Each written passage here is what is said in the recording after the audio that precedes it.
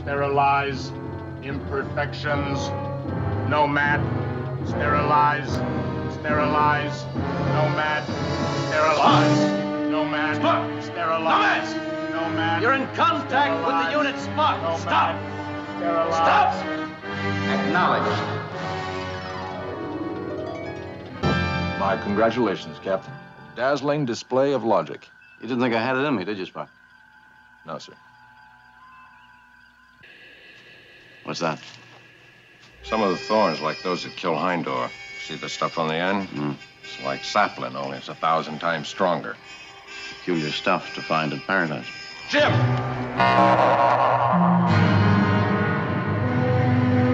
Spock.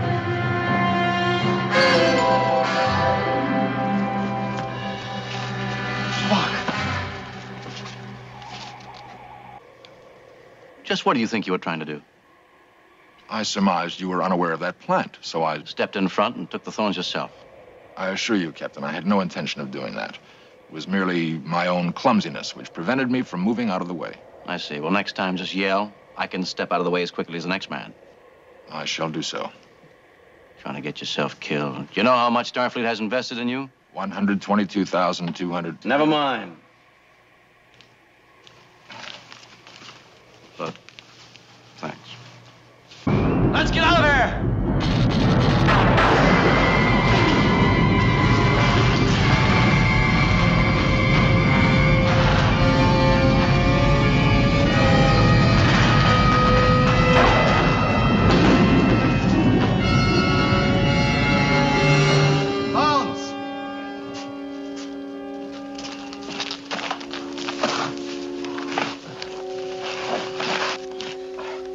And in a manner of speaking, we have given the people of Vaal, the apple, the knowledge of good and evil, if you will, as a result of which they too have been driven out of paradise.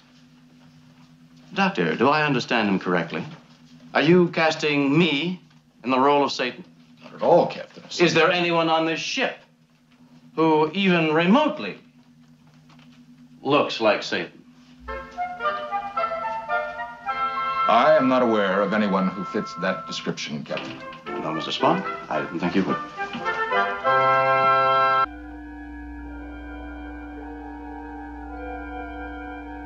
That magnificent mind of his. But it can't protect him from this. I press it. And he dies. Now,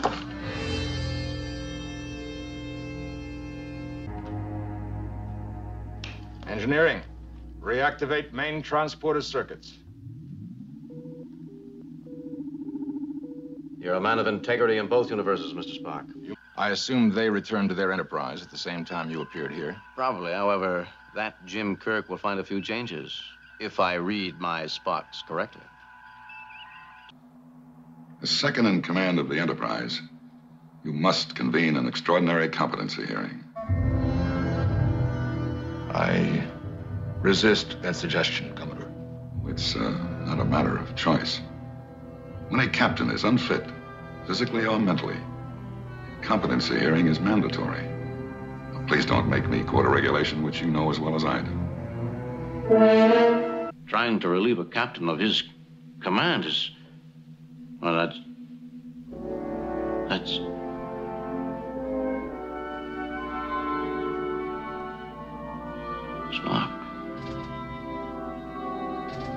Wouldn't have believed it of you. Only Commodore Stocker can give a command order on board this ship. You traitorous. Disloyal. You stab me in the back the first chance you get. Spock.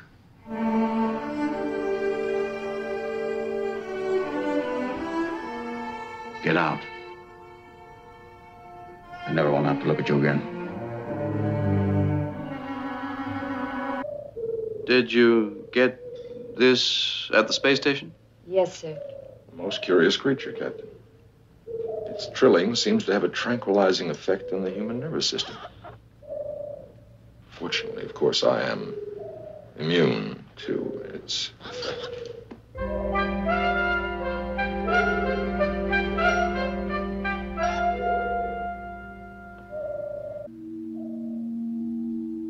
But they do like Vulcans. Why, Mr. Spock, I didn't know you had it in you. Obviously, Tribbles are very perceptive creatures, Captain. Obviously. Spock is my best officer. And my friend. I'm glad he has such a friend. It hasn't been easy on Spock. Neither human nor Vulcan. At home nowhere, except Starfleet. Starfleet force is used only as a last resort. We're an instrument of civilization.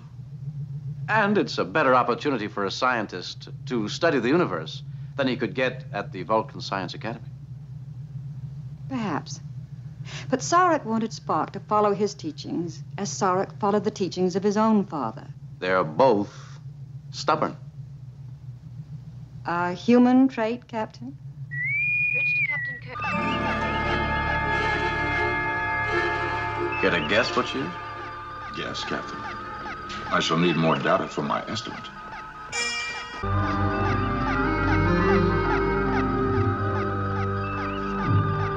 Spock, Yes, Captain. I get sensor readings of trititanium from the alien ship's hull. I'm sorry about your father. Yes, it could adversely affect our mission. Aren't you worried about him? Worry is a human emotion, Captain. I accept what has happened. The ship's hull seems to have a high density level or is cloaked against sensor probes. It is manned, but sensors cannot make out specifics. I see. I was. When you became injured, Spock assumed command. He's going to stay there till you get back on your feet, even if it costs Sarek his life.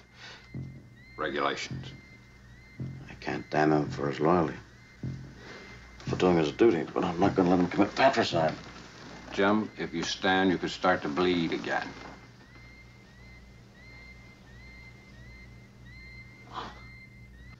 That ship was constructed for a suicide mission. Since they never intended to return to their home base, they could use 100% power on their attacks. The thing I don't understand is why I didn't think of it earlier. You might have had something else in your mind. It hardly seems likely. No, but thank you anyway.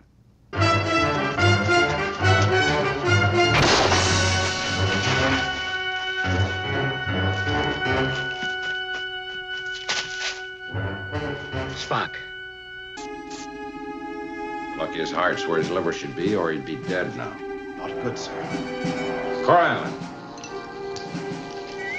Holmes, can you save me? All decks, red alert. Battle stations, battle stations, go to red alert. Kirk here. Oh, Uhura, sir. We have a Klingon vessel on our screen. On my way. Scotty. Holmes. I don't know yet, Jim. We can hide for a while, sir, but we may have to go out of orbit to keep it up for long. Kirk to sick bay. McCoy here. I'll call you as soon as I know anything. Sick bay out. And sir, the fact Earth took 12 centuries doesn't mean they had to. We've seen development at different rates on different planets. And if there were the Klingons behind it, why didn't they give them breech loaders? Or machine guns. Or old style I hand did not invite a debate. I'm sorry. I'm worried about Spock.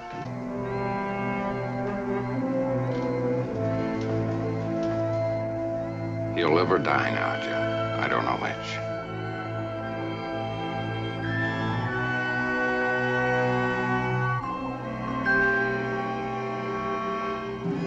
Dr. M'Benga interned in a Vulcan ward. He couldn't be in better hands.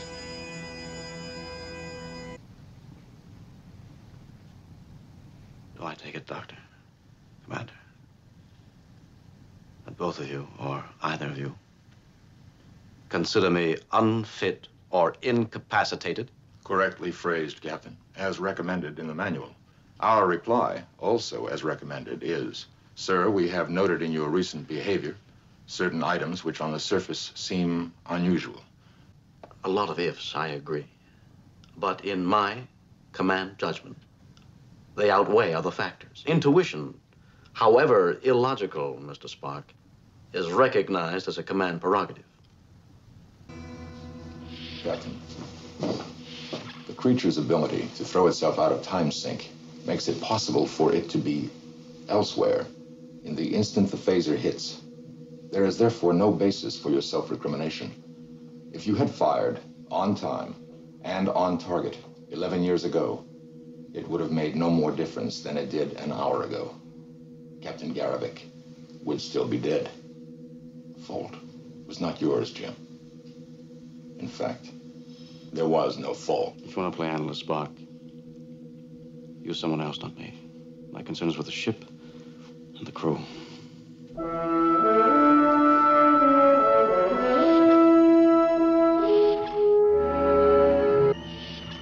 Fortunately, neither of us is dead, Ensign.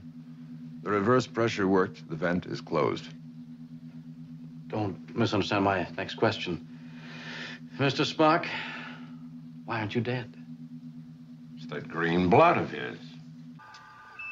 I believe I know where it's going. It has changed course before to mislead us, Captain.